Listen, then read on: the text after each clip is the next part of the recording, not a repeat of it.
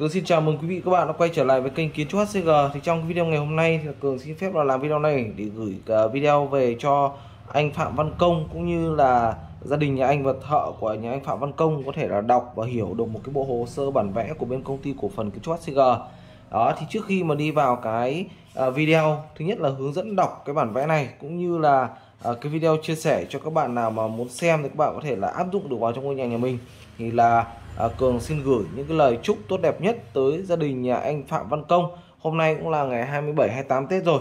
Thì là Cường à, xin chúc à, anh chị là sang năm mới à, năm 2022 năm nhâm dần anh chị là có được một cái công trình đẹp tốt chất lượng và à, sau khi vào nhà mới cũng như năm 2022 thì anh chị là sẽ làm ăn phát đạt phát tài và luôn đạt được cái mục tiêu của mình trong cuộc sống. Đấy là những cái lời chúc mà là thân thương nhất mà cường cũng như anh em công ty cổ phần kiến trúc HCG gửi tặng cho anh công và toàn thể gia đình ạ. À, trước khi mà chúng ta đi về để đọc hiểu được một cái bộ hồ sơ bản vẽ của nhà em công như thế này. Nhà anh công ạ thì chúng ta cần phải uh, biết được là trên một bộ hồ sơ bản vẽ thì nó sẽ bao gồm những gì? Đó sau đó thì chúng ta sẽ đi sâu vào cái mẫu nhà này trước. Đó sau đó thì chúng ta mới đi vào từng cái danh mục bản vẽ và sẽ tiến tới là chúng ta sẽ cùng nhau đọc và để hiểu và để chúng ta thi công công trình nó tốt nhé các bạn nhé. Đó thì video lần này thì là uh, chủ yếu cường làm là để dành cho các bác thợ. Thế nên là uh, các bác thợ mà khi mà xem cái video nhà mình ấy, thì đôi khi là cái quyển hồ sơ chữ nó khá là uh, vừa tầm đối với lại uh, những uh, người mà tầm từ khoảng 35 đổ xuống. Thì còn những các bác thợ mà tuổi uh, là từ bằng tuổi bố mình ấy, thì là uh, có thể là chữ nó hơi bé. Thì các bác có thể là giúp cường là đeo kính vào ạ. Hoặc là chúng ta sẽ uh, cùng nhau uh, xem ở trên tivi để chúng ta sẽ nhìn uh, nó sẽ rõ hơn. Đấy là uh, điều mà cường muốn chia sẻ trước. Thế còn bây giờ thì chúng ta sẽ cùng nhau tìm hiểu về một bộ sơ bản vẽ. Thì trên bộ sơ bản vẽ nó sẽ có bốn phần cơ bản phần đầu tiên ý, là chúng ta có một cái phần đầu như này. À, đây là cái tờ bìa công ty này thì là nó sẽ có chữ ký trực tiếp của cường ạ. Và trên cái tờ này thì nó sẽ có cái phần đấy gọi là phần kiến trúc. Phần kiến trúc là nó sẽ bao hồ bao à, gồm tất cả những cái à, phần da phần thịt của công trình. Nghĩa là trên cái công trình mà để làm sao hoàn thiện được ạ thì là các bác có thể xem ở trên cái phần bản vẽ này để là nó hoàn thiện cho nó đúng. Đó và nó có rất là nhiều các bản vẽ khác nhau. Nó rơi vào khoảng 25 đến 26 bản vẽ. Và trên cái bản vẽ kiến trúc ấy, thì nó sẽ bao gồm cả 2D hay là 3D rất là chi tiết rõ ràng. Đó để cho các bác uh, xem để các bác sẽ hiểu. Đó thì khi mà chúng ta phải biết được cái bản vẽ kiến trúc nó bao gồm những gì rồi đã sau đó thì chúng ta sẽ có thêm một cái hạng mục nữa đó là cái phần kết cấu nhé các bác nhé. Trên cái phần kết cấu nó sẽ thể hiện cho các bác cái điều gì? À, kết cấu là nó sẽ thể hiện cho chúng ta biết được rằng là cái phần khung xương cốt thép của công trình hay là những cái phần là à, bố trí lanh tô dầm mái vì kèo ra sao. Thì đấy nó gọi là cái phần kết cấu của công trình. Và trên các cái bản này thì nó sẽ có rất là nhiều những cái hạng mục như là thống kê cốt thép vân vân hay là những cái chi tiết về phần móng định vị tường cột. Đó thì khi mà chúng ta xem cái phần bản vẽ về phần kiến trúc mà chúng ta đã hiểu rồi, thì chúng ta cần phải sang cái phần bản vẽ, phần kết cấu này để chúng ta làm và để chúng ta thi công. Thì chúng ta cần phải xem kết hợp giữa hai bản vẽ kiến trúc và kết cấu, làm sắt thép và làm móng xây tường. Thì chúng ta cần phải kết hợp giữa cả kết cấu và kiến trúc nhé các bạn nhé. Và sau đó thì chúng ta sẽ có thêm những cái hạng mục khi mà đi công trình, mà đi vào cái giai đoạn gọi là hoàn thiện. Thì à, chúng ta sẽ có thêm những cái bản vẽ liên quan đến những cái phần điện đó và phần nước. Thì chúng ta cần phải có cái sự kết hợp với nhau để xem làm sao cho nó phù hợp. Đấy là về các cái hạng mục ở trong một cái bộ hồ sơ bản vẽ mà các bạn cần phải biết. Thế còn bây giờ thì cường xin giới thiệu cho uh, các bác thầu biết về cái mẫu nhà lần này trước. Sau đó thì chúng ta sẽ uh, đi sâu vào cách đọc ạ à, trên màn hình quý vị và các bạn đang xem đây đó chính là cái mặt tiền cái phối cảnh công trình. Thì cái mặt tiền lần này là bên mình đang thiết kế là với có cái diện tích là chiều rộng là bằng 11,4 nhé quý vị các bạn nhé. Và chiều sâu công trình nó rơi vào khoảng 11 à 10,7 đó cả sảnh nó rơi vào khoảng 13 mét. Công trình lần này thì là bên mình đang thiết kế cho nhà anh công là bao gồm có 3 phòng ngủ hai phòng vệ sinh một phòng bếp một phòng thờ và một phòng khách đó thì trước tiên ấy, thì chúng ta sẽ cùng nhau tìm hiểu về cái phối cảnh trước à, phối cảnh và hình thức trước. Sau đó thì chúng ta sẽ đi sâu vào cái um, công năng cái giải pháp và cái mặt bằng chi tiết nhé các bạn nhé. À, thì chúng ta có thể quan sát ở trên mặt tiền của công trình lần này đây là một trong những cái mẫu nhà vườn mái nhật mà bên mình đang làm cho anh công ở Ngọc Lặc Thanh Hóa ấy, thì trên cái phần phần về tỷ lệ này này nó rất là hài hòa và nó cân đối. À, các cái đầu gờ cột này các cái cột của bên mình thiết kế nhé, bao giờ nó sẽ rất là to. Nó to và nó sẽ rất là rộng. Đó. Thì khi mà chúng ta làm đúng theo cái tỷ lệ này thì cái ngôi nhà của chúng ta dù có rộng đến mấy trông nó rất là bề thế. Đó đấy là cái điều đầu tiên mà các bác cần phải chú ý là cái kích thước của phần cột. Hai nữa là các cái đầu của cột mà chúng ta nhấn ngã nhẹ ở trên cái à, đầu cột này nó rất là đẹp. Đó.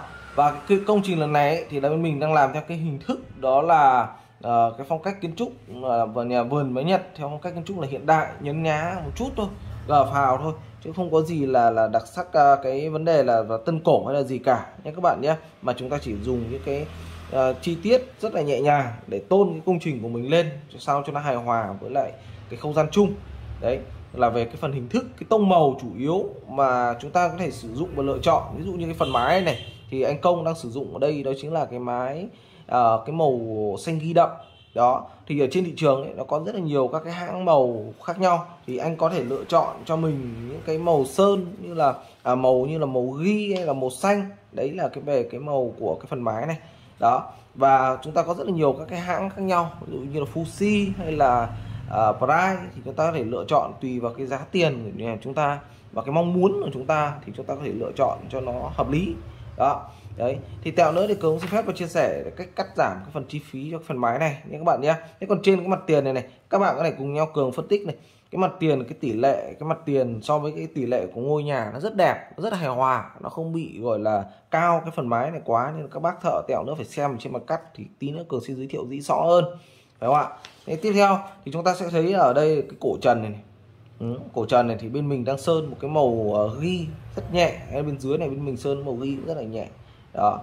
Ờ, còn các cái phần nhấn nhá ở trên cái cái cái thân này phần thân này này thì các bác có thể là anh công có thể là sơn hoặc có thể là ốp đá vào cái khe này nhé chúng ta có thể là nên nên chúng ta làm lõm thì là cái uh, chi tiết của chúng ta sẽ bền hơn chúng ta đắp nổi. Đắp nổi thì chi tiết thường thường nó sẽ uh, không bền. Đấy là cái kinh nghiệm mà cường có thể chia sẻ cho các bác. À, bởi vì là các bác thợ chắc chắn là các bác sẽ biết được điều đấy vì mình cũng là làm nhà thầu mà. Đó. Thế còn toàn bộ cái phần chân này thì cứ khuyên anh công là hãy ốp những viên gạch thẻ, đúng không ạ? Hoặc là viên đá tự nhiên. Đó. Và khi mà cường sẽ làm video kết cấu cho anh thì cường sẽ giải thích rất rõ về cái ngắt nước, chống thấm hay là tại sao ốp đá để cho nó đảm bảo được cái chất lượng của công trình của nhà anh công. Đấy là cái mong muốn của cường. Đó.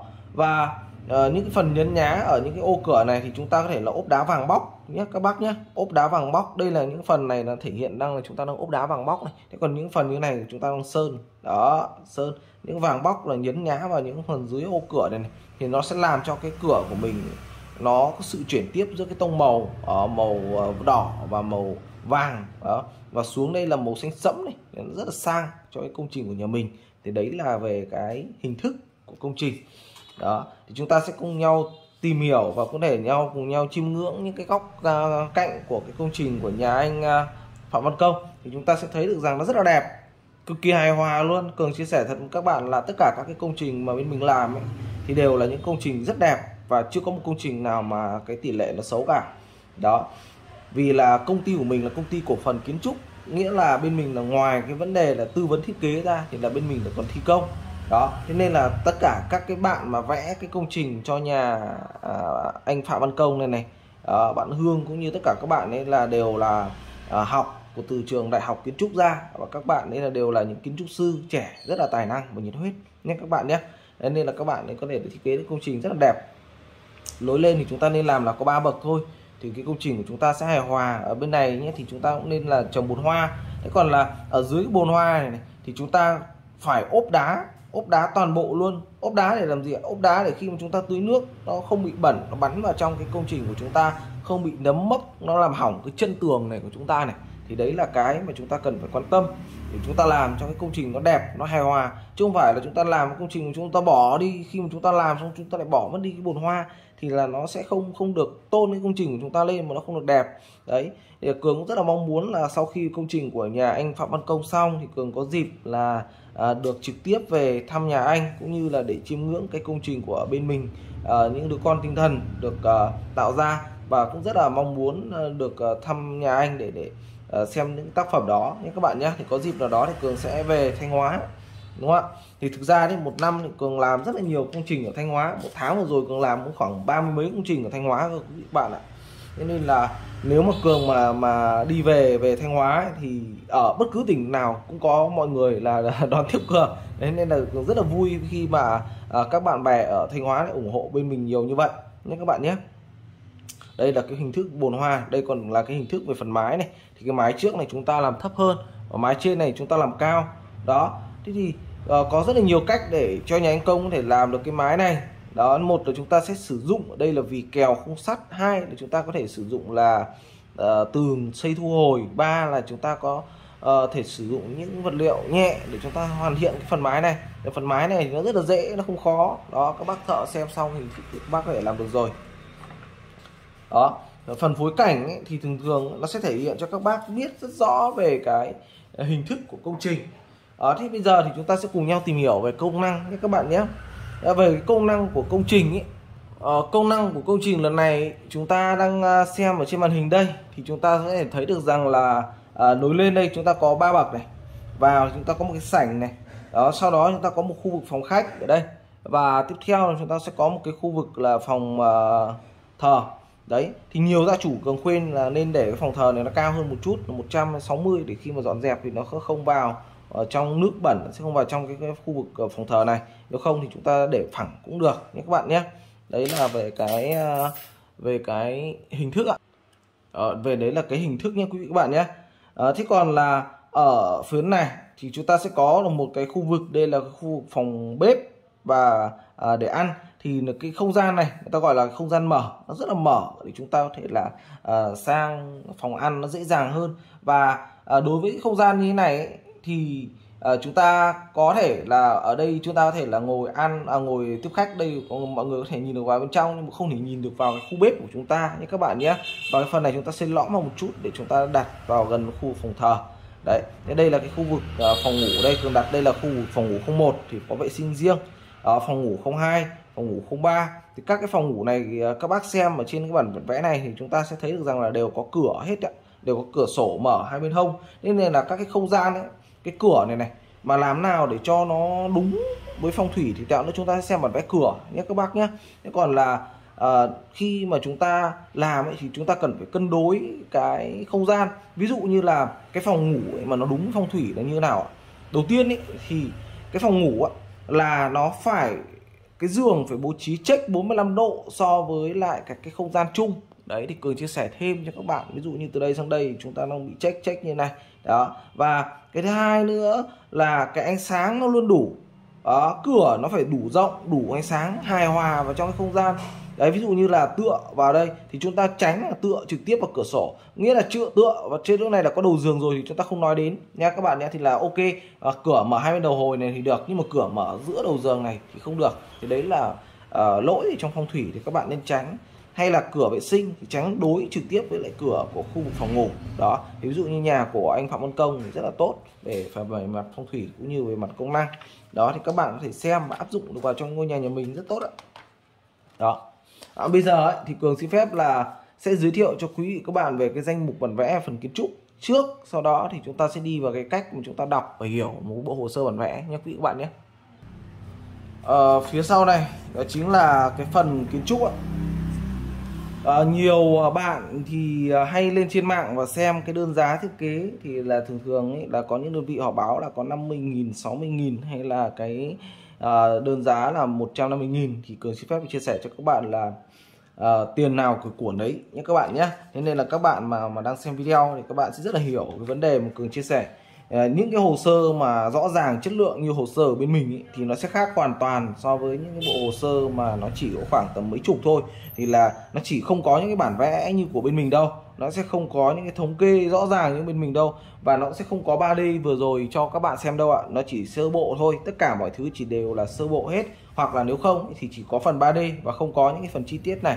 Nếu mà có cái phần 3D có cái phần 3D như này mà không có cái chi tiết thì Cường xin phép được chia sẻ với các bạn là không thể làm được một công trình nó đúng và nó đẹp được nhé các bạn nhé. Đây là cái cái cường đã làm rất nhiều công trình rồi nên cường rất là hiểu hiểu được các vấn đề mà các bạn là đang đang gặp phải. Thế còn là nói thật sự với các bạn ấy, nếu mà có những cái đơn vị họ làm cả 100 đến 200 triệu một mét đến 500 triệu một mét cơ đấy là là có ở Việt Nam này có rất là nhiều. Nhưng còn đây đối với những nhà vườn nhỏ như này thì cường chia sẻ nó rất là rẻ. Đó một bộ hồ sơ như này bên mình làm nó cũng rơi khoảng mười mấy triệu là online thôi ạ.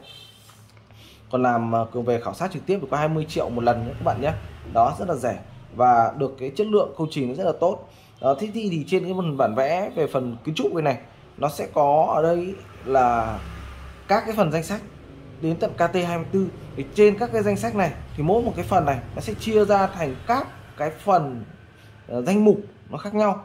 Ví dụ như là uh, từng phần mà chúng ta làm ấy, thì chúng ta cần phải kết hợp bản vẽ kết cấu. Thế nhưng mà trên cái phần bản vẽ và phần hoàn thiện này này khi mà chúng ta làm đến phần cửa thì chúng ta phải uh, check hết các cái kích thước từ trước này rồi thì sau xuống đến phần cửa thì chúng ta chỉ cần uh, gửi cái file cửa này ra cho các bác thợ cửa là chúng ta đã làm được rồi nhé các bạn nhé. Hay những chi tiết cột giả cột sảnh này thì chúng ta làm thì chúng ta dở đến phần đấy ra chúng ta xem thì chúng ta làm hoặc tránh bị sai sót.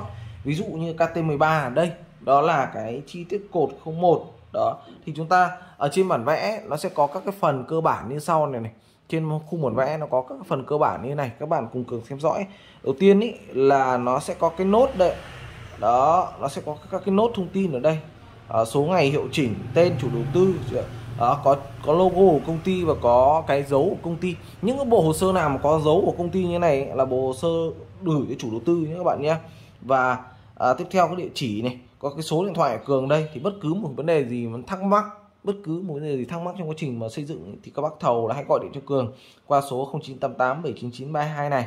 Đấy, tiếp theo là gia chủ chữ ký và à, phần cuối cùng này nó có chữ KT00 đó đây này phần cuối cùng đó ở mũi tên này. Đấy thì chúng ta sẽ dở cái phần bản vẽ KT13 ra. Trên cái phần bản vẽ KT13 này thì chúng ta dở ra. Thì chúng ta sẽ thấy được một điều như này nhé các bác nhé. Đó, chúng ta sẽ thấy được rằng là các cái phần bản vẽ nó sẽ rất là rõ ràng chi tiết. Đấy ví dụ như chúng ta làm đến phần cột này thì chúng ta cần phải xem các phần bản vẽ này để chúng ta biết được đó, bên mình ý, thì là những cái phần bản vẽ mà có những chi tiết nó khó thì bên mình đều có những phần 3D mô tả rất rõ như này để cho các bác là dễ hình dung dễ hiểu và dễ thi công. Đó, công nghệ thì là cứ 2D thì có 3D kết hợp nhé các bác nhé. Đó tiếp theo ấy, thì uh, bây giờ thì cường sẽ uh, không ờ, giới thiệu về danh mục bản vẽ nữa mà cường sẽ đi sâu vào từng các cái phần một để hướng dẫn cho các bác thợ là đọc và hiểu được. Tại vì sao lại phải giới thiệu nó hơi bị lòng hoàng hơi bị lòng vòng vậy?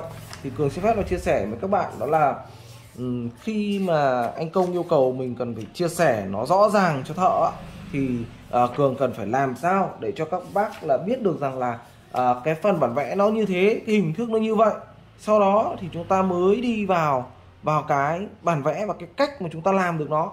Đó thì chúng ta cần phải xem nhé các bác nhé. Ok bây giờ thì cường xin phép là sẽ đi vào cái phần bản vẽ đầu tiên.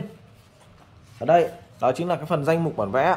Đầu tiên thì chúng ta sẽ cùng nhau tìm hiểu về các cái phần mặt bằng các cái phần mặt này. Đấy cứ có gì liên quan đến mặt thì chúng ta sẽ tìm hiểu nhé các bạn nhé. À, đầu tiên là chúng ta sẽ có cái phần mặt bằng chi tiết KT01 và mặt bằng bố trí nội thất mặt bằng mái KT03 ok à, à, trên cái phần mà các bạn đang xem ở trên điện thoại thì có thể là nó sẽ hơi bị bé. Nhưng cái chất lượng quay của mình thì nó rơi vào khoảng 180 nhân 160 à, frame nên là nó khá là nét rồi. Thế còn các bạn nào mà muốn xem uh, muốn xem nét rõ hơn nữa thì các bạn hãy phóng lên trên tivi cho cường các bạn nhé.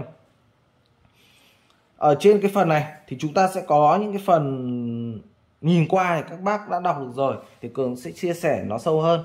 Ở cái phần đầu tiên là như này à, đây là cái có ba cái hàng kích thước ở bên ngoài đây đây ba cái hàng kích thước bên ngoài. Thì trên cái ba hàng kích thước này thì chúng ta sẽ có cái hàng ngoài cùng này này. Thì chúng ta sẽ có hàng tổng kích thước là bằng 11,4 uh, uh, cái hàng thứ hai là cái hàng mà đóng tim ấy.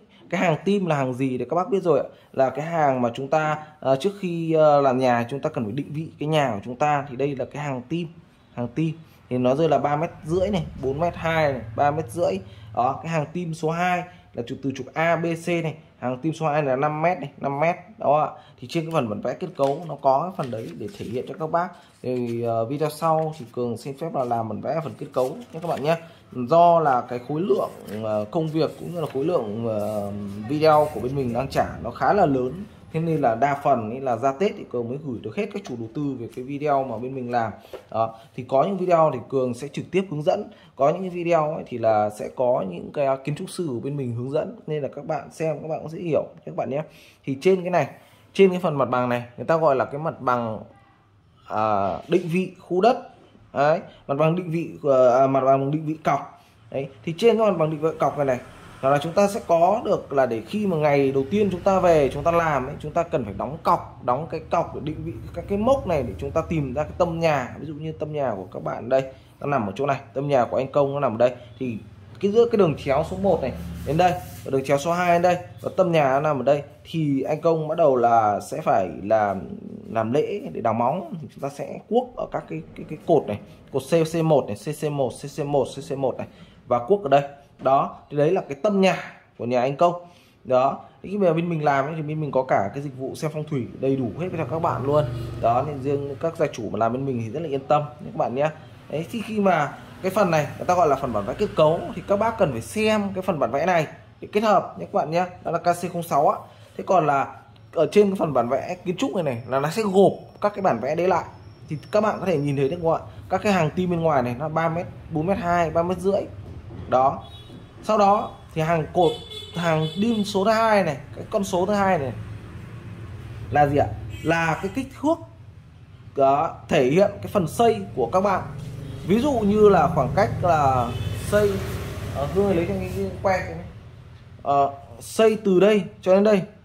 Đó thì là nó bằng 9 m 8 à, uh, 980 đây nhé à, 980 thì là khoảng cách từ đây đến đây từ cái mép tường này đến đây là 980 khoảng cách của cái cửa phòng bếp này, này là 1970 đó ờ, hay là khoảng cách từ uh, những cái phần đây ví dụ như là ở trên cái đầu giường này này ở đây này đó thì từ mép tường này ra đến cái phần cửa này là bằng 430 và cái phần cửa này từ đây đến đây là bằng 700 và ờ, từ đây đến đây là bằng 1m6 tới đến đây là 1700 và bên trong ấy nó sẽ có một kích thước đó là kích thước lòng của quá trình xây lòng của cái từng phần thô.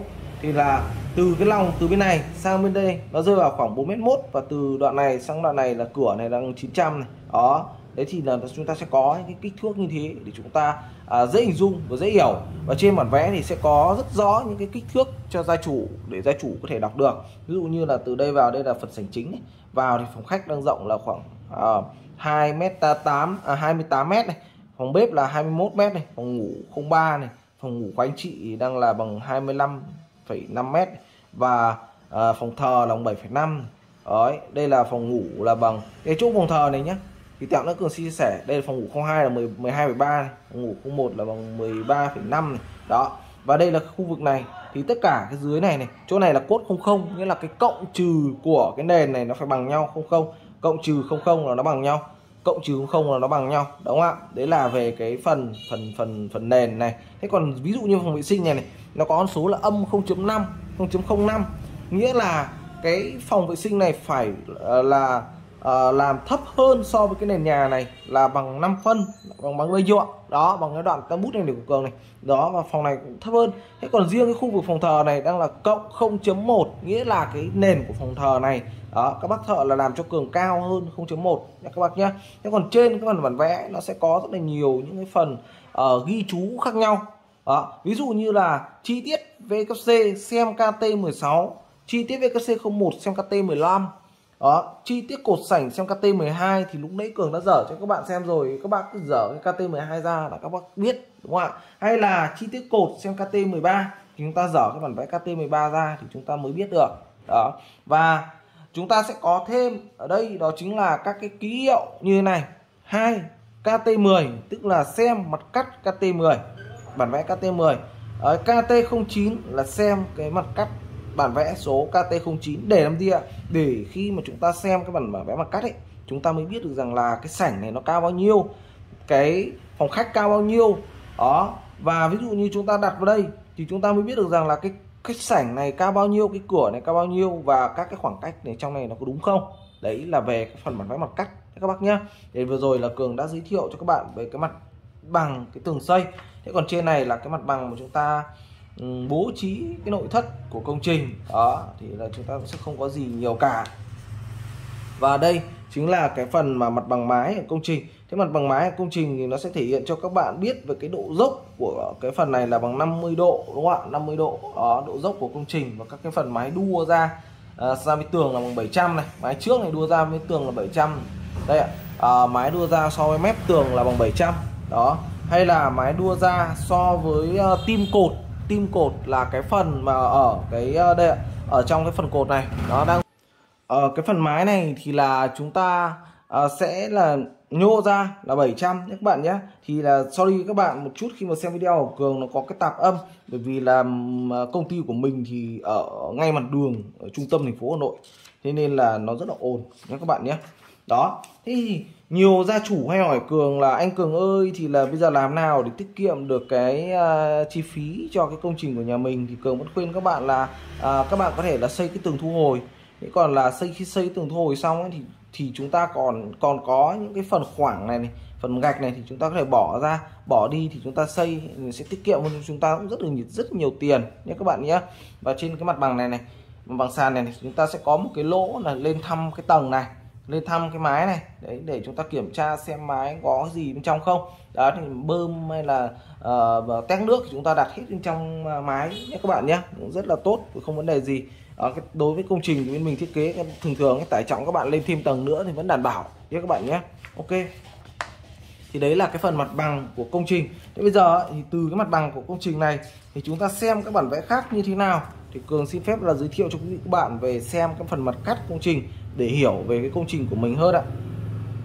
À, trên cái phần mặt bằng này chúng ta có cái là KT 09 ờ, đây. Mà cắt 11 thì chúng ta sẽ dở cái phần bản vẽ này KT09 này ra. Thì chúng ta sẽ cùng nhau kiểm tra và xem. À, trên cái cái phần bản vẽ này này tẹo nữa thì cường chia sẻ về mặt đứng sau. Nhưng mà chúng ta sẽ cùng nhau tìm hiểu về mặt cắt trước đó đây. Đây cắt T10 cắt 22 đó thế thì chúng ta sẽ nhìn theo là khi mà chúng ta cắt ngang qua cái um, cái phòng này chúng ta sẽ thấy được gì? Đầu tiên ấy thì là chúng ta sẽ thấy được rằng là các cái phần nhô ra khỏi sảnh này này từ phần mép tường này ra này đang là 700 đó. Chiều cao của cái phần mái này lên đến kịch cái trần là 38 nhé các bạn nhé từ tức là từ mặt sàn lên đến trần là cao 38 đó đâu nhỉ? Ờ, ba 39 chín cường à, đang nhầm các con số một chút. Ở phần bên trong là 38 ví dụ như là từ nền này đây là cái khu vực phòng thờ. Thì là từ cái khu vực phòng thờ này lên là 100 thì cả cái khoảng này cao từ phần uh, nền phòng thờ lên đến trên dưới đáy trần là 38 thế còn là cái trần này đang cao là 39 từ cái sàn ngoài này. Nhé các bác nhá. Thế còn đây chúng ta sẽ có được cái chiều cao của cái phần mái. Mái đang cao là 3m2 đấy là cái chiều cao khi mà chúng ta à, lợp lợp đến cái tầng lợp ấy thì là vào 32 thế còn là khi mà các bác làm thì các bác cần phải tính toán để làm sao để cho nó không bị là hiện tượng là làm sai mà chúng ta phải đập phá đi để làm lại. Ví dụ như trên này chúng ta tính là là cái phần ngói của chúng ta lên đến đây là bao nhiêu phân sau đó cái xào gồ vì kèo chúng ta là bao nhiêu thì chúng ta mới bắt đầu là mới bắt đầu là là hạ nó xuống để làm sao cho cái mép ngói này nó phải ra được bên ngoài ra được bên ngoài cái cái cái phần uh, phần lợp này. Và từ cái phần lợp này ra nên tận đỉnh là bằng 3 mét hai thì bác phải cân đối rất kỹ cái phần này cho cường. Tiếp theo thì chúng ta sẽ có cái phần đây là cái phần cột này cột à, đó và phần sảnh.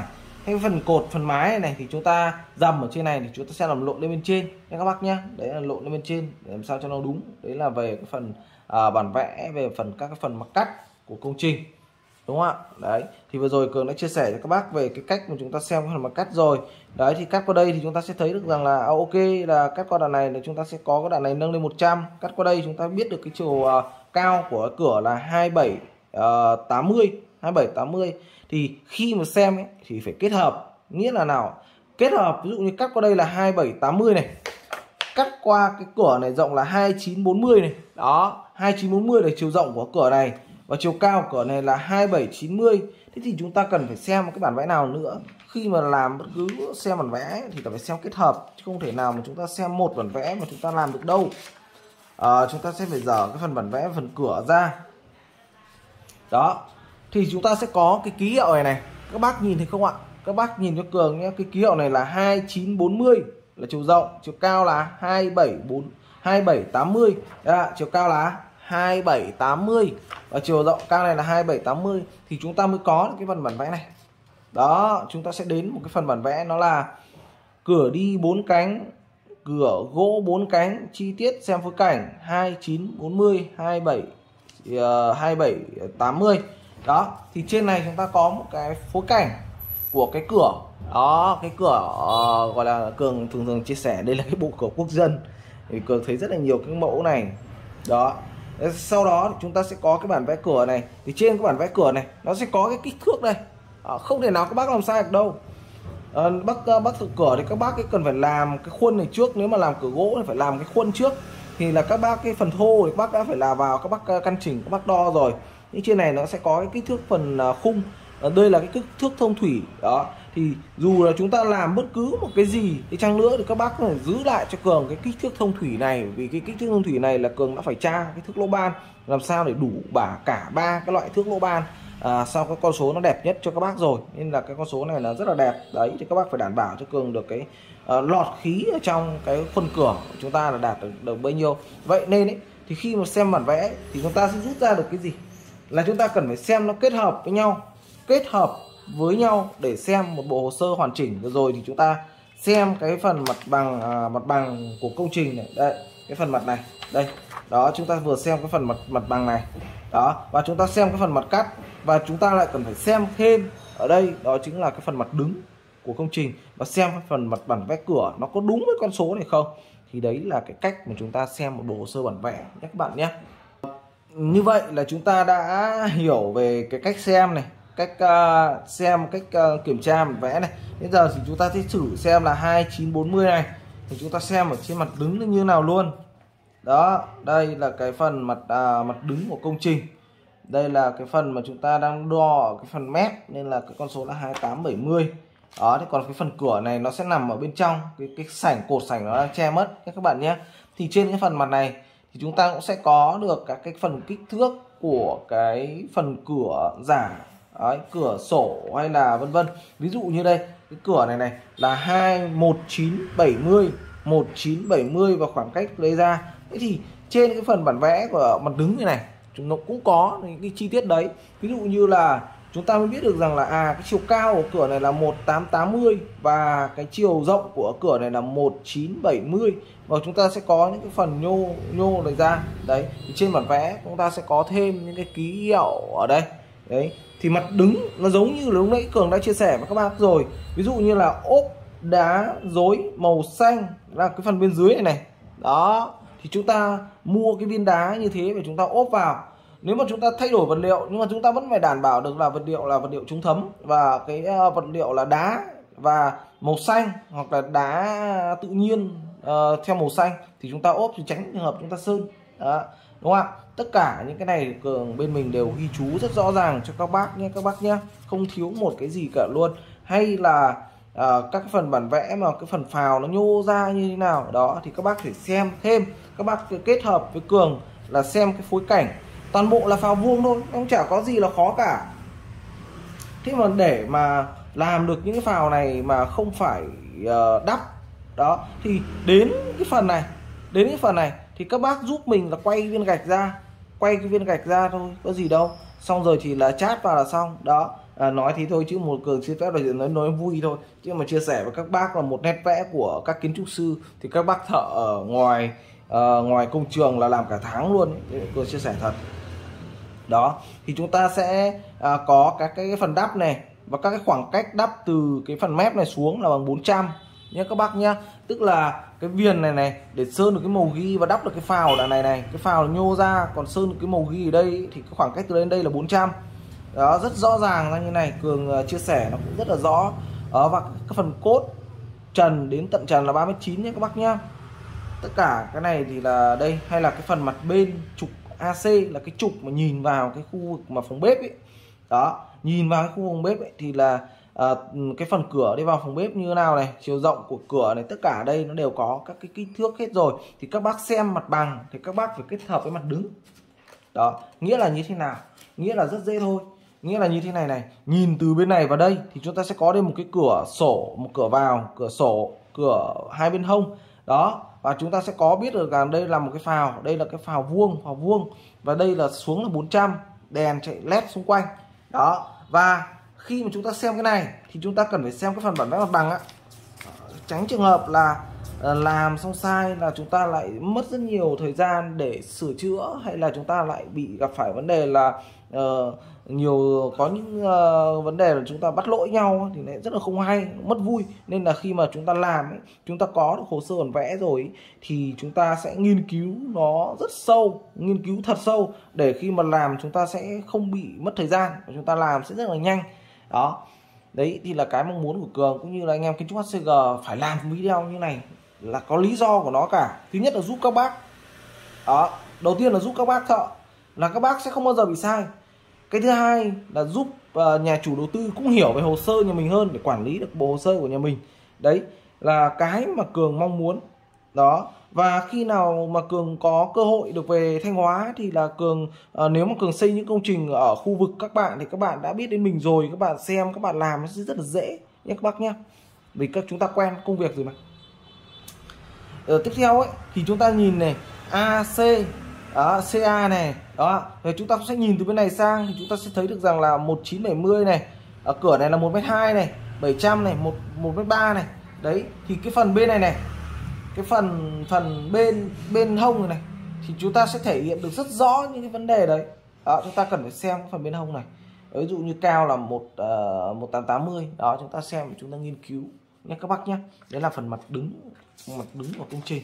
À, các cái phần mặt đứng công trình. Rất là nhiều bản vẽ nữa để để chúng ta kết hợp lại hay là các cái phần này. Đấy ví dụ như vừa rồi là cường đã chia sẻ là cắt qua cửa ở cái phòng ờ, phòng bếp.